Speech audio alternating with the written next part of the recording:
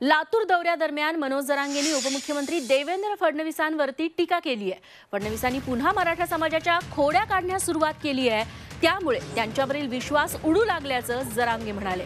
त्यांच्या जवळचेच लोक आता टीका करू लागले त्यामुळे फडणवीसांनी वेळीच शहाणं व्हावं अशी समजही जरांगेंनी दिली आहे.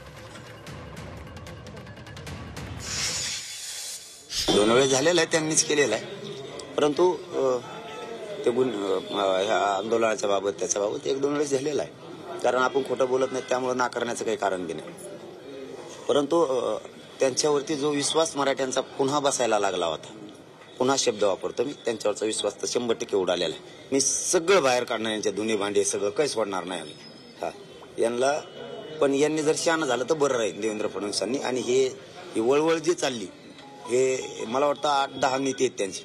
हेच फक्त मराठ्यांच्या विरोधात आणि आरक्षणाच्या विरोधात बोलते आणि त्यांनी सांगितल्याशिवाय हे बोलूच शकत नाहीत. छत्रपतींचा विचार म्हणजे